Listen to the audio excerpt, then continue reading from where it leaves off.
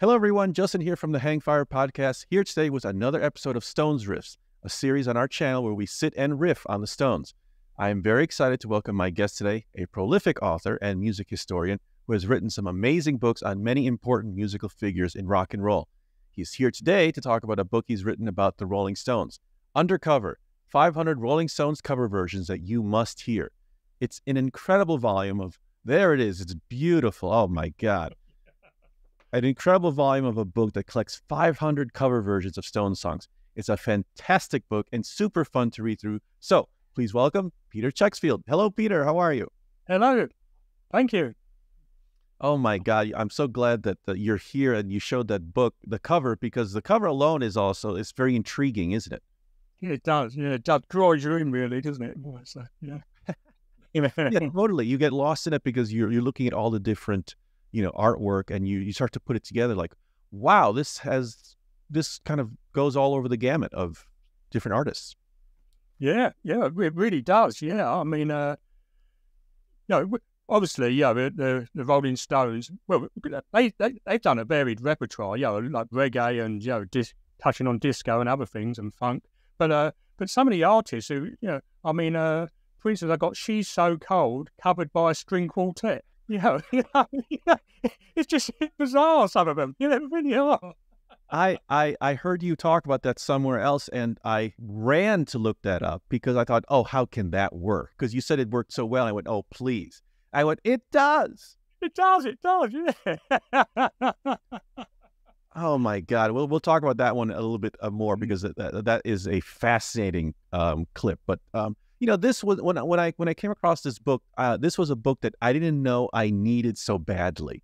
You know, because I could only name maybe, you know, five or ten Stones cover songs. You know, and I thought I, there's no way I could possibly amass in my collection all the ones, at least 500 of them, like you have. So, you know, first thought that comes to mind is what brought you to this idea, and how long did it take you to collect these 500?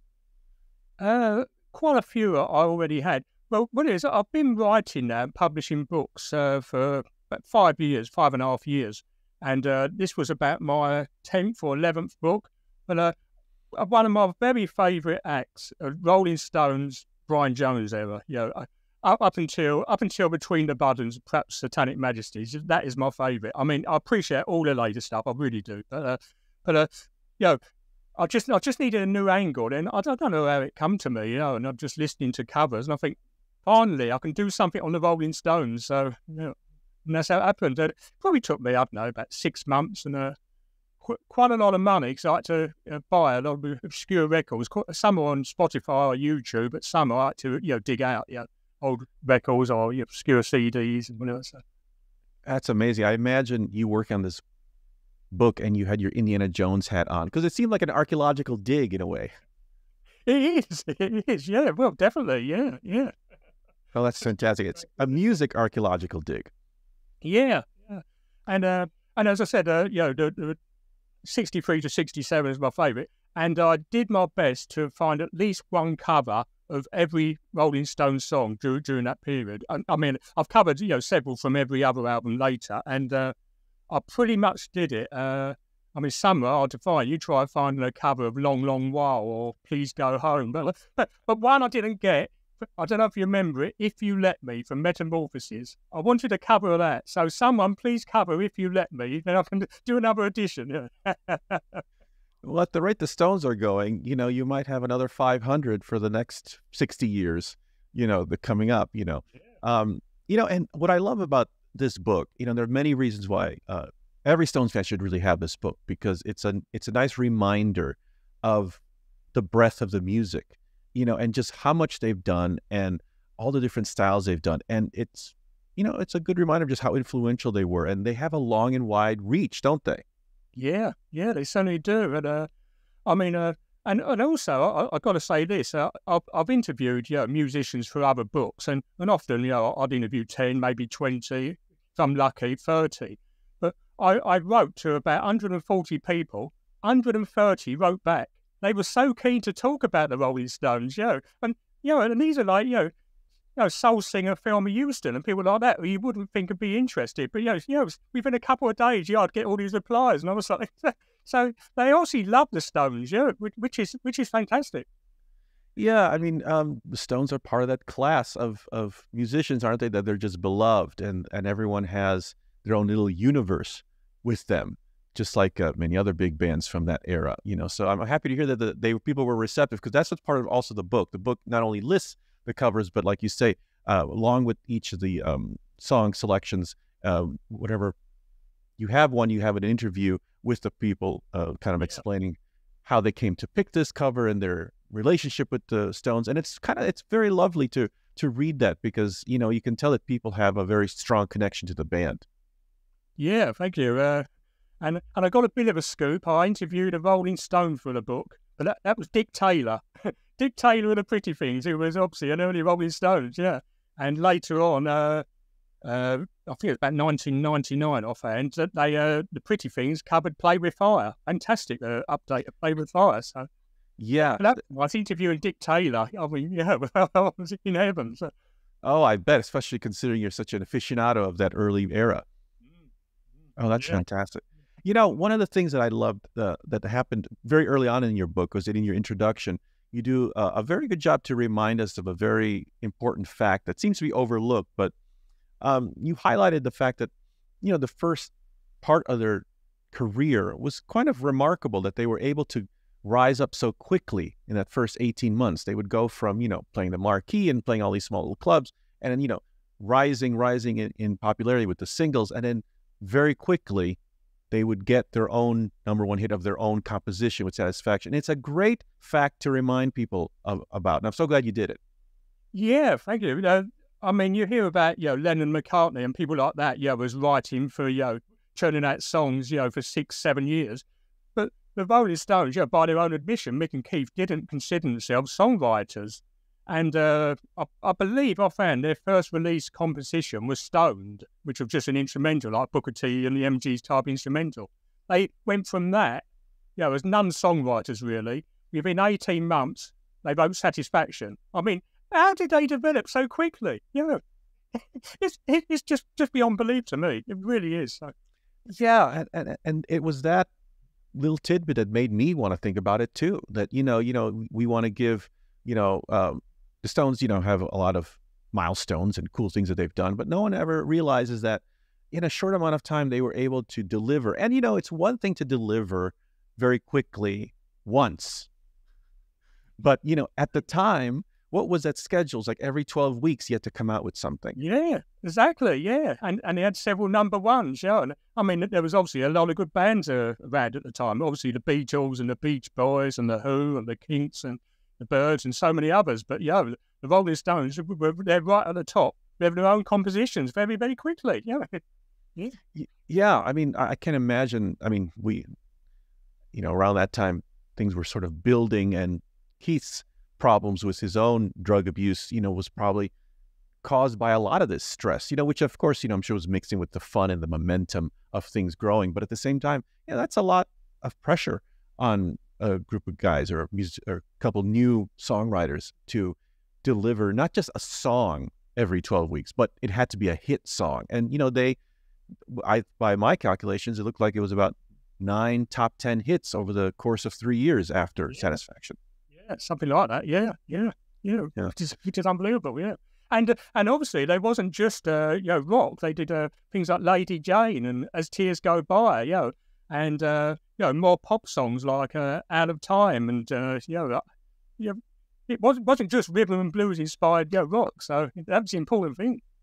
Yeah, and I'm so glad you mentioned that because I, I don't know. It seems it seems pretty like lost in the legend now that you know.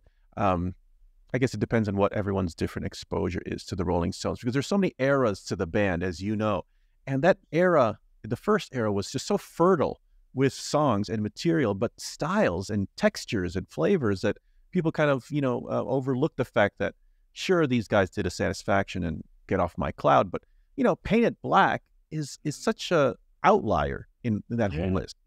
Yeah, yeah, and uh, and and so social comment songs. I mean, I mean, you know, uh, as we know, you know, they got into drugs, but "Mother's Little Helper," you know, that's an anti-drug song. Yeah, Yeah.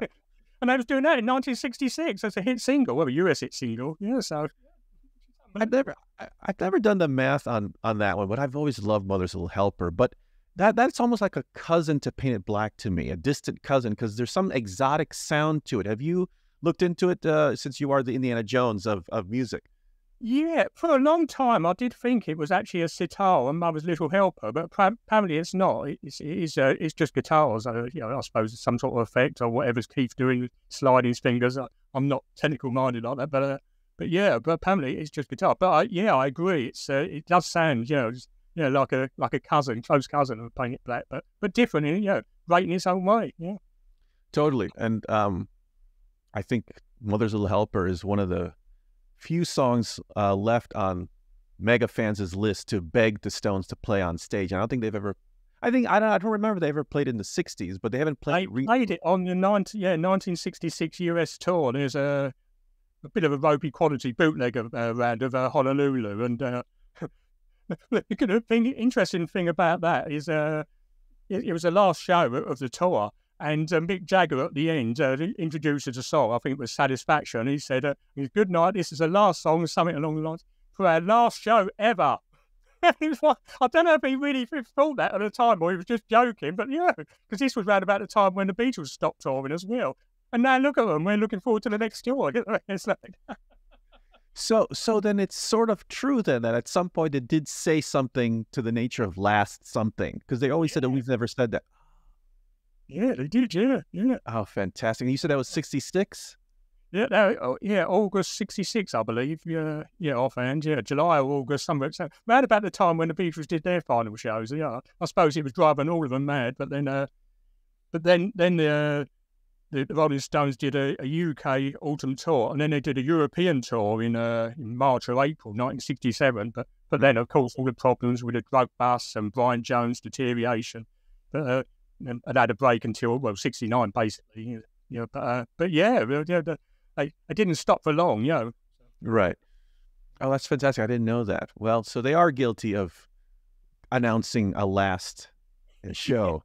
yeah, probably the only time. Yeah, I mean, every press conference on every tour, you know, and Mick Jagger says, "Yo, well, it's not going to be the last one. It's not our final tour." and then they said it, didn't you? So. I think my favorite the, the bookend to all that stuff is I think around 97 at the press conference for Bridges to Babylon, I, I believe someone asked Keith, "Is this going to be the last tour?" And he said, "Yes, and the next five or something yeah, like that." Yeah, yeah, he did. Yeah, that's right. Yeah. and of course, we all kept count, like, "Oh, oh, three more, two more," you know. Yeah. you know, uh, uh, Peter, this this book Undercover is is, is so fun because what I do is I'll sit in front of YouTube with the book and just go through go through the list you know and and, and thumb through it and read all the selections and and you know with 500 covers i'm discovering 100% of them are, are new to me at this point you know and uh, it's fantastic. So um, in in that whole 500 were there a few that stuck out in good ways and in bad ways and made you go oh boy because uh, your, your good line is that you listen to 500 because uh, we didn't we wouldn't have to well, I, no, I listened to more than that, so you didn't have oh. to. I'm listening to something like about 2000, so you didn't have to. Some, some, to be honest, I played uh, 10 seconds. I think, no, no, yeah, and then chose the 500 from that. Yeah, so. I want that book too, by the way. uh, yeah, I mean, it's an interesting story. So I don't know if you, are familiar in, in, the, in the USA of Cliff Richard. He was a uh, six. What's again? Cliff Richard. Cliff oh, I've heard of Cliff Richard. I don't know much well, of his material. Well, he's had more hits in this country in the UK than anywhere else, but he's always had a do-goody uh, image sort of thing, and uh, yeah, he became a born-again Christian, blah blah. But in 1966, he did a great cover of Blue Turns to Grey, one of my favourite covers. But uh, he, I believe he got it from Dick and Dee Dee's version, and it was only afterwards he promoted it, and someone said, "Did you know that's a Jagger Richards song?" And he was against the Rolling Stones because they was everything, you know, against what he stood for, you know, being a good family man and Christianity. And, well, well fast forward, uh, 2009, he did a, farewell tour with, uh, with, with, with his band, The Shadows. And, uh, and he did every hit throughout the 50s and 60s, apart from that one. He still refuses to play it ever since he found out as a Rolling Stones song. that just gets me every time. Yeah, it's a fantastic version. oh, that's fantastic. Yeah. You didn't have the internet then to look it up. Yeah, yeah, well, yeah. That's fantastic. Uh, yeah, you mentioned earlier, and uh, I had to look it up, but one that threw me for a loop, but it ended up being a great surprise was that she was hot covered. How did you come across that she was hot co- uh, covered? Was it the Vitamin String Quartet?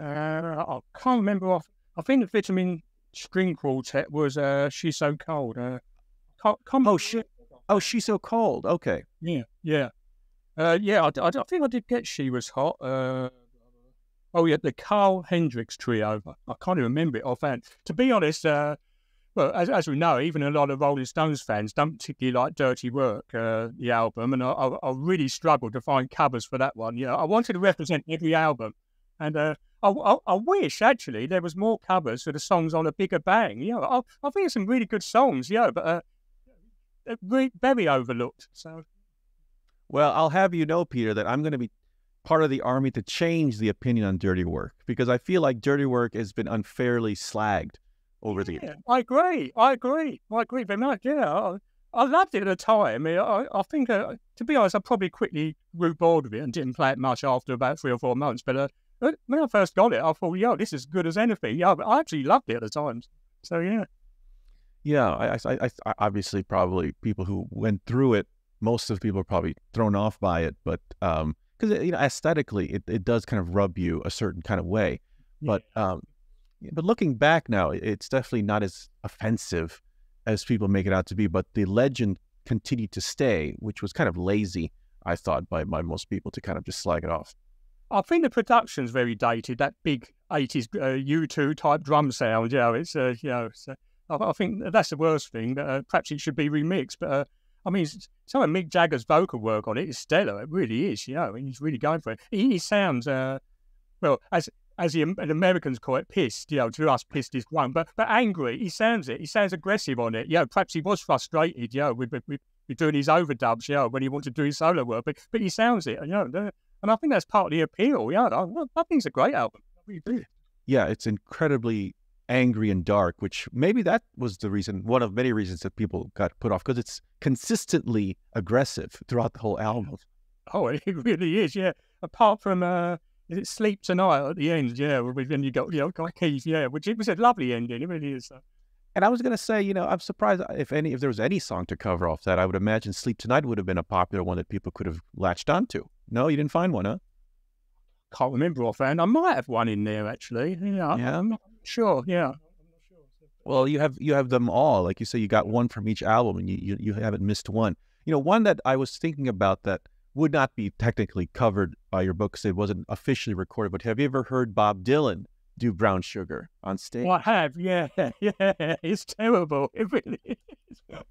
I love Bob Dylan. I don't want to put. I don't want to insult Bob Dylan fans, but uh, yeah, he's a strange choice. It really was. Yeah. So it, yeah, you're right. I, it makes you wonder what made him gravitate to that song. I, maybe the lyric, because it is a very uh, provocative uh, lyric you know but um I, I, every version i've heard he always seems to flub up the second one of the verses you know but the band sounds fantastic he, at the time when he was doing it he had a great band and um it was nice to hear it but um yeah my favorite i had so many like i was saying so i get i have your book i'm in front of youtube i just kind of flip through and go through all of them and i had so many new ones that um, made me go oh where has this been and you know some the, i love saint St. Vincent's Emotional Rescue. That was yeah, fantastic. Yeah. You know, the, very smooth, and you know, it, it's it's it's ones like that where you maybe you need a someone like a St. Vincent to introduce it to new folks because you know her version and the Stones version are not too far off aesthetically. They're both kind of smooth and you know R and B ish and disco ish and funky, and um, that blew me away. And also, um, I'm not sure if I'm going to say her name right, but Casper Bjork. I'm not sure if that's her name, but Danish artist yeah. who did Heaven. Yeah, that's right. Yeah, Heaven. Yeah, I, I was uh, very pleased to find a cover of Heaven. Yeah, yeah, very interesting song. Uh, I mean, it's one of the just a handful. You could never imagine the Rolling Stones attempting live because it is just just just so, so like that. But uh, but yeah, uh, on, you're going to tell me that they performed it in 1998 or something? no, they never performed that one. I don't think they have. No, no. But, but yeah, yeah, I was very pleased. Yeah, yeah, beautiful cover. Well, it is. It is. A, it is a very unique song. You know, it's very kind of got a very deep, heavy mood. I remember see, hearing it not for the first time, but being used in the movie Vanilla Sky um, in the early 2000s with Tom Cruise, and it was, you know, and, and it was just the right amount of it used, and you go, wow, good job mm. for finding that one because the Stones do have those mood pieces that yeah. it's not, it's not just heavy stuff. Yeah. yeah, yeah. I mean, I mean, uh, an album what was, uh, I think it's quite highly rated now, but uh, at the time it got mixed reviews. Was uh, Black and Blue, but you know all these funk numbers on there. I, I know you use a snippet of uh, Hey Negrita, yeah, which is a bit. But yeah, I think I think that's a really good album. Yeah. Yeah, yeah, I'm so glad to you sing that. Sometimes these songs, you know, they, they might not you know, make the impact of the time, but they have their time later. Wait, what is that? Because I've heard you know people make that, uh, and I agree. Is it is it you know you could write it off as oh the Stones were ahead of their time, you know, or or what? But um, that always seems to be the case where, in retrospect, the album works better. Is it that we we've we have expectations on the Stones each time an album comes out? I think so. I mean, uh, a lot of people, and again, I, I, I, really like the album, but a lot of people at the time, Goats Head Soup, because I think they expected Exile Part 2. Yeah, it, it wasn't. It had all these, yeah, more more mellow uh, numbers, and uh, but uh, but it must be difficult, yeah, and uh, uh, for well for for any band, but particularly the Rolling Stones, because because they want to hear all this, you know, hard riffing songs, and but they can't win with it, basically. They, they turn these out again. People say, oh, it's the same old thing, same old thing. And then they do something new. Oh, it doesn't sound like the Rolling Stones. So, you know, it, it, it, it must be difficult for them, you know. And I think I can understand that. It's been 18 years for an album, you know. It's just, it's just yeah. Yeah, you're totally right. And, you know, all you need to do is go back to the beginning. I mean, look at those first singles.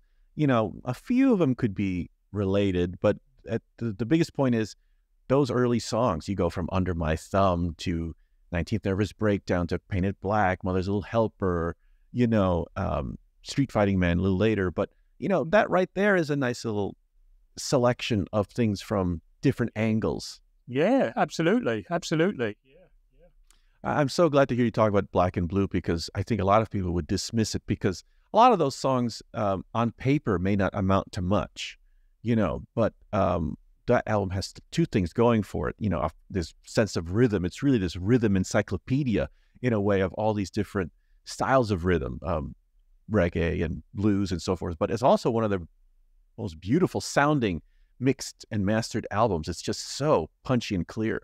And uh, and and maybe the, the Rolling Stones, or maybe it's just their fans have come round to it. But over the last 20, 25 years, I think the Stones have performed most songs. Yeah, they might not it might not be in the set list for long, but uh, I remember when they first dug out, uh, I think it was around about 97, 98, Me- Memory Motel. Yo, it was, it was, it was, it was fantastic. So even that, yeah, duet with, uh, you know, with Mick and Keith doing, doing that. Yeah, so.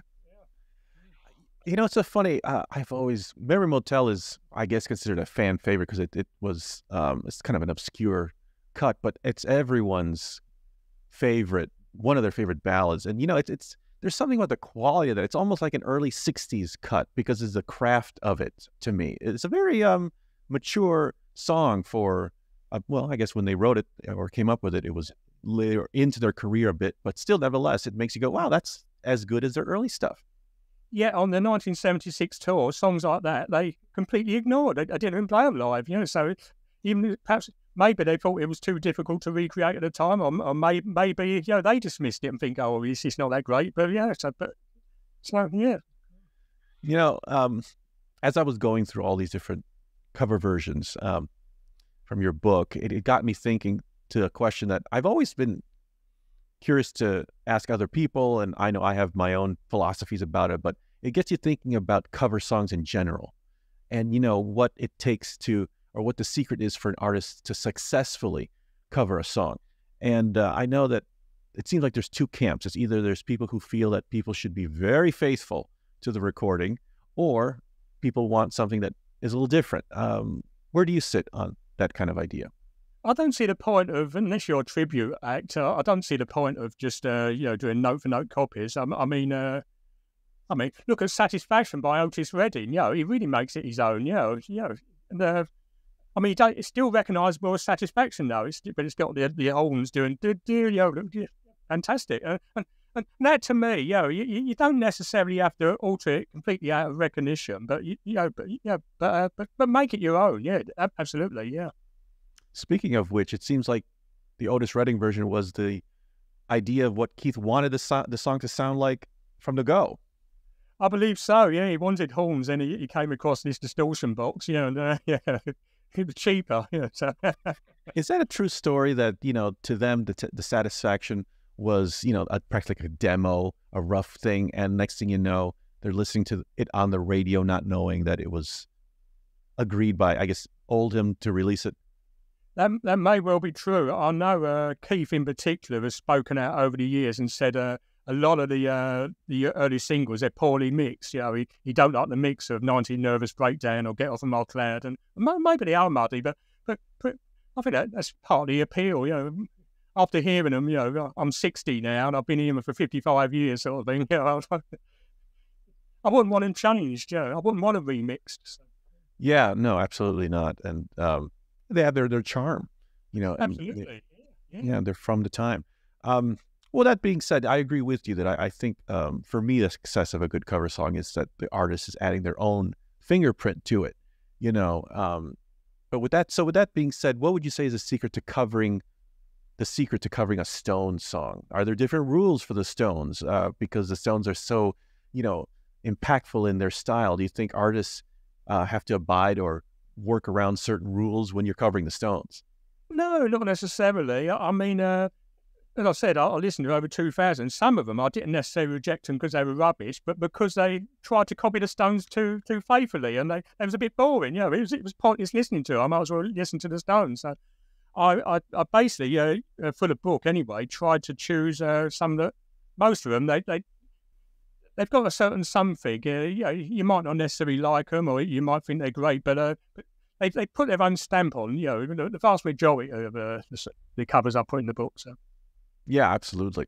Um, and you know, the, the Stones themselves have covered so many songs. You know, another uh, uh, interesting sequel or follow up uh, would be to write a something on the Stones covering others. Um, but um, they, especially their early career, did you feel that they honored a lot of those covers? They did so many: The Temptations, Buddy Holly, Chuck Berry one of my favourite covers, and, and, and everyone thinks said you're crazy. You know, it's awful. It's awful. My Girl. I love My Girl on the Flowers album. Yeah, the Stones version of My Girl. I just love the way Mick Jagger sings that. I really do. Yeah, to me, it blows away the Temptations and Otis Redding. I'm probably the only person on the planet who thinks that. I, love that. Oh my, I didn't know. And of course, uh, Under the Boardwalk was a number one in Australia. Oh, was it? Yeah, so, yeah. Whenever they go there, they never play it. But uh, yeah, yeah, it's the number one single in Australia. Yeah. oh, that's amazing. I, I have to admit, because I like I mentioned uh, to you before that, that anything pre aftermath, I'm a little hazy on. So I forgot that they did My Girl as well. That that that was uh, quite bold. Yeah, definitely. Yeah, I, I really think it was. It, has got uh, strings on it as well. Uh, strings strings overdub. Uh, Andrew Oldham, supposedly uh, produced it, but you know, probably got someone else to do it. But uh, yeah, yeah, I, I, love that version. I really do. But I don't imagine it live. You know. Right. Well, that would really throw people for a loop. I think people would love it. Well, talk, talking of live, uh, I, have only seen them live uh, twice in 1990, and, and, that was great at Wembley Stadium. And uh, and I actually, I, I didn't realise at the time, saw the last ever concert with Bill Wyman as a full time member, which, which was fantastic. Yeah. But, uh, oh, but anyway, but, uh, but the last last tour last year, the thing that blew me away, and, and some people loved it, some people thought it boring when they dug out out of time. You know, and the crowd obviously absolutely loved it as well. Yeah. You know? I don't know if you, if Keith or particularly liked it or Ronnie, but, uh, but yeah, and, and that, that that to me, you know, when they dig out gems like that, you know, that's what gets me. Absolutely. And, you know, they've been doing that. Uh, it's sort of been like an unofficial tradition at this point now uh, in the last few tours where they at least dig out one song they've never done before. And, uh, you know, credit I think needs to also go to Steve Jordan because it's on these early 60s songs where he is just kicking butt completely. Yeah.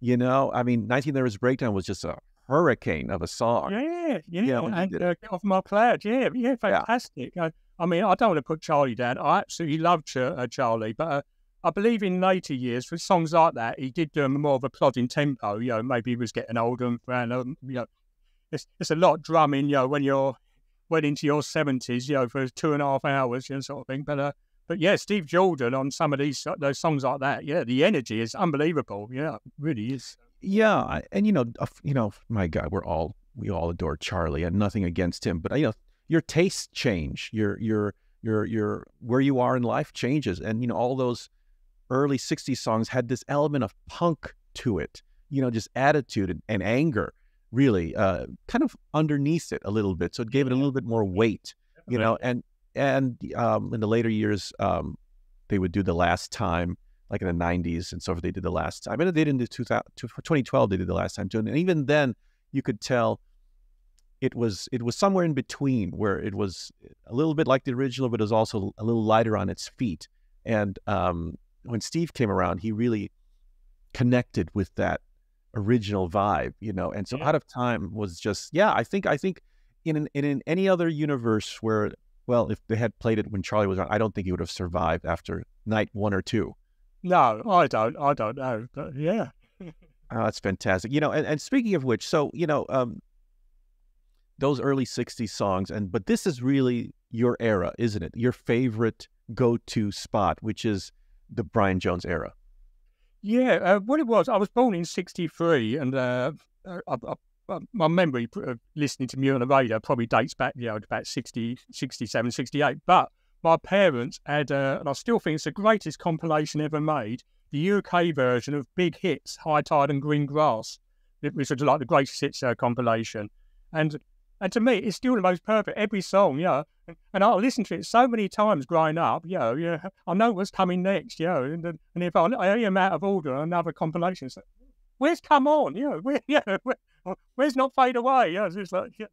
and, but that, that, yeah, and, and, and ever since then, yeah, the, the, since I was probably four or five, the Rolling Stones, Brian Jones uh, era, yeah, it just, yeah, just, just blows me away. Sometimes I go away from it. I don't listen to it so much for a few months. I listen to a bit of soul or a bit of rock and roll or a bit of all, all sorts of music. But but then I come back. I mean, today I've got this interview coming out, and I've been playing somewhere between the buttons and out of your head, out of our head, and uh, it, it just blow me away. They really do. So, yeah. And and I I was mentioning to you before that this early era is a little rough for me to, you know, reach. You know, especially when you're coming from one angle to the next. And this is the, an era that you favor. What would you What would you say are some of the attributes that makes this era so special for you compared to the Mick Taylor years, which is for a lot of people their, you know, focus, their centerpiece for the band. Well, two words: Brian Jones. it, especially you know from uh, from 65, 66, 67, he, he, he just put so many. Uh, I mean, I mean, Keith Richards complains now that, uh, and, and perhaps rightly, that Brian Jones got bored with the guitar, and I think he did. You know, and, but uh, but instead, you know, he added all these textures, you know, and you know, some something like between the buttons, it, it's got this weird mix, but all these layers. You listen to in stereo on the headphones, you have got something coming here, something coming here. It, it just you know, it just mind boggling. And I, I did read a list somewhere. He plays something like eight different instruments on that album. You know, it's, it's yeah. Yeah, and that's a thing that I've appreciated recently because, like I was telling you earlier, that I was sort of getting into between the buttons. That that, that was only uh, within the last three years, two or three years for me, that between the buttons really finally clicked. You know, and it just goes to show that for me, it's a process. The- The seed has to be planted, and then it, you hope to water it over the years, and then it grows into this big thing. And with between the buttons, it threw me for a loop. You know, I, I don't know. You may have seen. Uh, I put a video on YouTube about it being part of my overlooked album series, but it's the most um, English sounding uh, of all the albums. But then again, a lot of the albums during this time sounded very English to me. You know, Yeah, I mean, I mean, some people say they was, uh, you know, trying to uh, copy the Kinks and the Small Faces or that swinging London vibe, but, but I think they're forgetting, you know, until you know the end of the sixties or early seventies, they lived. That's where they lived. They, they they was partying in London all the time. You know, they was soaking up. You know, they was on ready, steady, go. You know, they was part of that culture. So I think they was just really reflecting what was around them. I don't think they was trying hard to be more more English. You know, and and really, I suppose they became American. Yeah, I'm not putting Americans down or yourself, but uh, but they, they sort of became more Americans once they all moved to New York and places like that and soaked up the American culture. You know, so but uh, but but they were yeah, were an English band, you know, and, uh, and, that was just a reflection of the time. So I mean, they couldn't make an album like that now, you know. They, they really couldn't because because you know they're so they're, they're so worldwide and you know living in Jamaica or New York or wherever they live these days. But uh, yeah, yeah, I think it's a really cool reflection of the times, and uh, and and as good as anything else to me. Yeah, it's as good as Revolver, and it's good as you you know some of the best uh, early Who albums or the Kinks or whatever. Yeah, it's it's good as Pet Sounds. Well, it's better than Pet Sounds, but uh, it's, Ooh, that's, that's not so I love that. now we're talking. oh no, I love the Beach Boys too, and, and yeah. um, but you know, that's what that's what I came to realize recently was that you know between the buds was always a mystery to me but then you do the math and you go holy crap this is um, some very interesting strong stuff you know uh, regard forget about it being the rolling stones you know just for any band and you know i like that point and and people often forget conveniently that you know whether you like it or not the stones are sponges really you know when it comes to their surroundings and the time that they're in and all those things so to always point fingers that they're always they're copying someone or um, that they're not being original. You know, it, it misses the point that um, there's there's the, they have their roots, but they're always incorporating new things. Oh, absolutely. I mean, you know, people, you know, very wrongly, you know, uh, dismiss uh, Satanic Majesties as, as, as their version of Sergeant Pepper. But to me, it's the dark side. It's like looking in the mirror, you know, seeing like the devil looking back at you. You see everything. I mean, look at the difference between, you know, with a little help from our friends. I get by. Then he got in another land. Yeah, it's all so much darker, and Gomper's so much darker. 2,000 light years from home. Even She's a Rainbow, there's, there's, there's all these you know, discordant uh, touches to it. It's just, I, I think that's a really interesting album as well. I, I know Mick Jagger's the only one who, who, talks highly of it these days, but yeah, I, I really like that album. Yeah, I'm so glad you to, to hear you say that because I also that was part of the twofer for me between the buttons and their Satanic Majesties request for. I said it's time for me to, to sit with these now. And yeah, you know, it, it's it's very lazy for people to just group it. Oh, it's a Sergeant Pepper uh, knockoff. But okay, you know, maybe the cover has echoes of it. Obviously, you know, uh, isn't it the same photographer who did um, both? I think you're probably right. Yeah, I can't remember offhand. Yeah. Well, yeah, it's a, it's a bit like saying Beggars Banquet is, is their version of the White Album. Yeah, they can't they can't be more different. You know, just because they got a similar cover. You know. right? Yeah, geez, I never put that together. You're right, and they're both kind of very um, raw and kind of uh... yeah, sort of back to basics in a way. Yeah, sort of thing. Yeah, yeah, more stripped down. Yeah, without all these uh, orchestras and fancy touches. Yeah, yeah. Right, and and and at least going back with Satanic Majesties and and maybe you know Sergeant Pepper, you know, it, it's not like those two albums came out of no, complete nowhere. There was something brewing in the community. You know, there was it was all around them. So um, the only thing that the Stones are guilty of is just participating in you know what was going on around them. So to to to narrow it down as it being a knockoff of anyone in particular, it seems like well, that's a little bit one dimensional. Yeah, exactly, and uh, and they, they, was heading in that direction uh, already. You know, things like uh, Dandelion was written, you know, I, I, believe, you know, late summer 1966. You know, and uh, know, so so that's and, and I know Dandelion isn't on the album, but you could imagine it being part of uh, Satanic Majesties, you know, and We Love You, which I think is absolutely out there single. I, absolutely blows me away still. If I had to choose, they my favourite Rolling Stones single would be "We Love You" and and Dandelion as a, as a as, you know as a as a two sider. That's that's amazing, you know. And uh, yesterday, I because you mentioned it, I wanted to bring it out, but I was listening to this "Got Live" if you want it. Uh, I have this is the SACD too, so it sounded extra nice. I love all these digipacks they put out in 2002. They sound fantastic, and I have to say I haven't heard this in a long time. And uh, I was mighty impressed with it. I was having fun listening to it. some of the editing on it is, is diabolical. And as you know, two of the songs that they're just studio songs that were overdubbed. But, but the energy, I mean, you, you listen to uh, Under My Thumb or uh, Not Fade Away, 19th Nervous Breakdown. Get off of my cloud. It's primal on that. You know, I mean, you're talking about Steve Jordan. You you know, they came close, you know, which, which was amazing in 2022. But, but I mean, they've invented punk rock there. They really have. Oh, yeah. That's exactly what I was thinking about because uh, was it get off my cloud? Definitely get off my cloud. Uh, even under my thumb, straight away, it's you're on to something incredible. And um, I was like, this can't be Charlie. You know, I mean, like he is pounding his way through this. I mean, they're the tempos, by the way, are also off the charts. yeah, are they? They must have been wired. They, they must have been. Obviously, Charlie, Charlie was, but uh, yeah, he's keeping up with them. Yeah, but yeah, I mean, maybe he's hitting ever hard and uh, you know hard because he can't hear himself. You know, just screaming and everything. You know, just bashing away. You know, but, uh, yeah, but the energy yeah. on that really is incredible.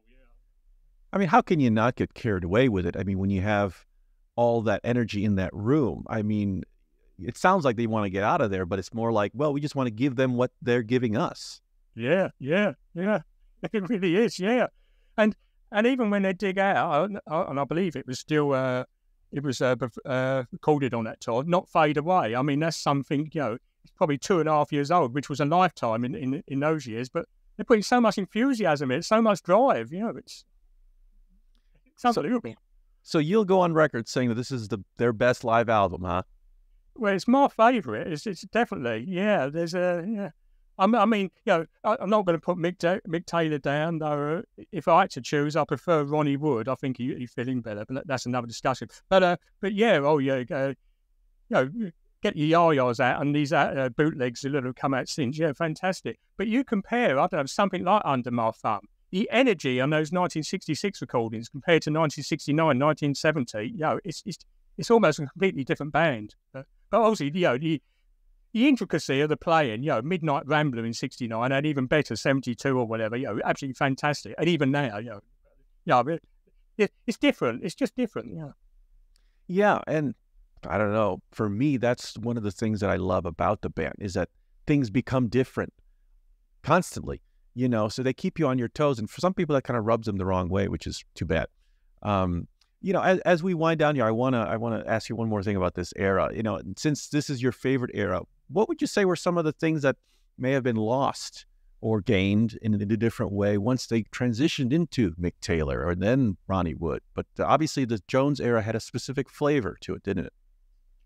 Think the uh, the best tribute they did to Brian Jones is not trying to replace him. They got someone so completely different, and uh, which was which was very very wise. They did they did they wasn't looking for a multi instrumentalist dandy. You know, so, you know, you know, they, you know I mean, Mick Taylor, you know, fantastic musician, but you know, he, he wasn't a showman. You know, he, he's not, not a showman like Brian Jones or Keith Richards or Mick Jagger, and uh, and wisely, and uh, yeah, yeah, they they lost. Uh, perhaps, it was time. I mean, it, I couldn't imagine, you know, if Brian Jones had lived in fit, fitting in on Sticky Fingers or something like that. I, I, I, maybe he would, but I, yeah, and certainly not on some girls. You know, I, just could, I just, I, just could, I just couldn't imagine him. Yeah, so, so maybe, maybe they did the right things at the right time, yeah, with uh, Mick Taylor. And then uh, I know it wasn't their initial uh, choice because Mick Taylor, you know, quit, but, uh, but Ronnie Wood. Um, I mean, Bill Wyman, he, as you know, probably, uh, probably he's he's gone on record as saying, you know, uh, he loved Mick Taylor's playing. He was the be- best player we ever had in the Rolling Stones, but he wasn't right. And having Ronnie Wood, it just brought the, brought the band back to life again. And, and that's that's that's that's where Bill Wyman uh, uh, feels. And, and I can see that in a way, you know, the playing might not have been so intricate. You know, he, he, might not be, you know, the musician. He's very underrated, but uh, but yeah, but but but that's that's what I think they they, they lost. Yeah, they yeah, just, just Brian Jones was so unique. You know, he really was in in every way. Oh man, what a thought! You know, imagine Brian Jones on Undercover. You know, what would he look like? man, you thought that Dirty Work cover was bad. Yeah, that is a fault. Yeah. Uh, uh, one more thing. I mean, so, someone's uh, obviously, uh, you know, Keith Richards. You know, he was into drugs to a certain extent. You know, pills and whatever, and cannabis throughout the '60s. But I, I think uh, as some people have pointed out, in a way, he replaced Brian Jones as be as being the, the indulgent one. You know, up up until uh, up until uh, Brian Jones died, you know, it's Brian Jones who was always too wasted to play, you know, and everything. And then Keith Richards, you know, throughout, throughout the early seventies, certainly, you know, he became Brian Jones in a way, you know, because he was the he was the one who was, you know, they couldn't rely on uh, so much. So. And it's pretty much well known, right? Or is it misunderstood that you know, around the time things started to pick up for the Mick Jagger, Keith Richards songwriting, and the hits started to come, that Brian wasn't really jiving with what was going on there. I mean, I don't think he rather enjoyed Satisfaction and all the that that direction or stuff. Am I? Do I have that right or wrong? Yeah, I'm not sure about that, but I don't th- I don't think he was uh, particularly into Beggar's Banquet. You know, the Back to Basics. Uh, maybe he was just too out of it then. You know, you know, you know. I don't, I, don't, I don't know. It's hard to say how much of that was Brian Jones being completely out of it, and how much is it, you know, he just wasn't interested in Street Fighting Man or whatever. You know, it's, it's hard to say, you know, but I think he was into Satisfaction, things like that. Uh, um, well, with all this, all these classics that we're talking about, upcoming are the Stones' new album coming up soon. 18 years in the making. Is it something you'll be listening to? Oh, absolutely. Oh, very much so. Yeah. I mean, you know, Brian Jones Emma might be my favourite, but, yeah, I, I love, love all, all, the Stones. Yeah. Uh, as I said earlier, I, I, thought Bigger Bang was a really good album. Yeah. Uh, if I had to choose my uh, my least favourite album, and, uh, and people say you're mad, it's Voodoo Lounge not all of it, but but some of the anthems on it, they're a bit too Stones by numbers. You got me rocking and things like that. You know, uh, I mean, there is some uh, good, uh, deeper cuts on it. I know that, but uh, but yeah, but I, I really like the uh, bigger bang, and it's a shame they didn't keep uh, the songs in their set, uh, sets longer. They yeah. did it for that tour, and then yeah, by the by the next tour, yeah, they, they dropped them all. So. That'd be a nice surprise if for this tour they brought back some of those other ones because I mean it says a lot that hey, I mean I think the only one that really stayed in the set was "You Got Me Rocking." That that that has made a consistent appearance throughout all the tours since then. Yeah, unfortunately. it drives me mad. So I never liked it much. I don't know why. It's just I don't know. It's like I mean, I mean, simple's good, but I think there's something about it I just just don't like much. Sparks Will Fly is a little bit better. You know? I mean, a highlight last time, I, I, it might have been the last night of the tour, but he did uh, Out of Control. They, they dug out Out of Control, didn't they? And a fantastic version. And, and uh, and I, I think they enjoy that sometimes when they dig out, you know, something they haven't done in a long while. And I think Out of Control is such a strong song. It could be up there with all their classics to me. I think it's a well written song. Absolutely. Absolutely. Definitely. Yeah. You know, Peter, this has been such a joy to chat with you. And, and it got me thinking, to, listening and watching to uh, all these clips that, you know, it, it, it made me realize what I think makes a cover version work so well. It, I feel like it has to do two things. It has to make it remind me how much I love the original, who the, by the original artist, and then second, it, it, should make me fall in love with the artist covering them to make me explore their music. You know, so it has to be kind of the cyclical thing going on. Yeah, yeah, uh, absolutely. Yeah, yeah, that's a, that's a good way of putting it. Yeah, absolutely. And your book does that constantly, where I'm going, oh wow, let me look into this person, let me look into that person, because you know, like you were saying, if it's done well, it gives the it gives their fingerprint on the music and um, it's like a little trail to lead them to their music. And that's I did that many times throughout the book, so I thought it was um, a great, great experience. Will there be any more Stones books in your future? I'd like to. Who knows? Who knows? Uh, I, I, mean, I'm currently writing, and I'm sure none of your viewers will be interested, but I'm writing, and it's almost officially approved, a book on the Tremeloes. They've never, there's never been a book on the Tremeloes, and then, you know, so, so, you know, my tastes do vary a bit, but they, they tend to, and I did one on Jerry Lewis earlier, earlier in, in the year. So um, my, my tastes tend to be mostly, you know, 50s rock and roll, rhythm and blues, you know, Chuck Berry. I love Chuck Berry, both of you. And, and, and 60s pop and 60s rhythm and blues, you know, the, the, the tougher ones are obviously Rolling Stones, Pretty Things, you know, and, uh, Yardbirds, the Animals, people like that. You know. The Animals. I might write a book on the Animals. Oh, that should be fun. There's probably not enough books about them. No, there's definitely not. No. Oh, that's fantastic. Well, yeah, I, I was looking through your um your other books, and they're all up my alley. You know, I love the '50s stuff. I'm a huge Elvis fan, uh, actually, as well. Oh, so, right. yeah, me too. Yeah. yeah, I mean, talk about a something on Elvis, but again, I need a, I need a new angle. Uh, yeah, the good luck because that would be tough. I mean, but then again, you know, your own point of view is already special enough, you know, no matter what you uh, write. But uh, yeah, I mean, yeah. Uh, anyone talking about the, the music, you know, in, in great detail like you do, I think I would be much welcome for Elvis. You know, it seems like people like to focus on the more um, other details of his life. Yeah, yeah, exactly. It's all about the music to me. You know, it, it really is. You know, uh, uh, and, and that's that's what I, I stick to. You know, I, I try and keep away from any uh, controversies. You know, when I'm writing about artists. You know, just, I mean, a lot of them people know about the controversies anyway. I, I want to, I want to, you know, point out the music. Yeah, and what's good about it. Yeah, no, smart move.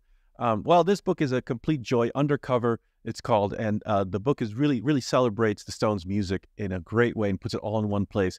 Uh, really, every Stones fan should have it. Uh, Peter, can you tell us where to find the book and more information about you? Well, the book, uh, yeah, it's at Amazon, the uh, biggest bookshop in the world. So you can get it in, in any country, really. And uh, and myself, well, I got into writing about uh, well, it was. Uh, I, will keep it as short as I can. Uh, I was always uh, uh, writing lists and you know bits for blogs and all that. And my other half uh, said to me, you know, why don't you try and put a book together? And I did. I just put one book together, and that was going to be it. That that was going to be the, the end of it. Then a couple of months after that, I had a heart attack. I'm, I'm absolutely fine now, you know, but I needed uh, you know, emergency surgery, and I couldn't get out walking and cycling so much. So I did another book. You know, I did another book, and it's sort of I'm addicted now. So so yeah, so so good things come out of bad things. They really do. So. Right, and you know the, the Stones taught us that. You know, just keep r- rolling forward, pushing through, no matter what the universe gives you. Yeah. Well, fantastic, Peter. Thank you so much for taking the time. Really enjoy the chat with you, and I hope we can do it again. Thank you, thank you, Justin. Enjoyed it. Hey everybody, I enjoyed the songs from Peter's book so much that I created a playlist on Spotify of 50 of my favorite covers from his massive list. Be sure to check it out. The link is in the description below. Thanks for watching Hangfire.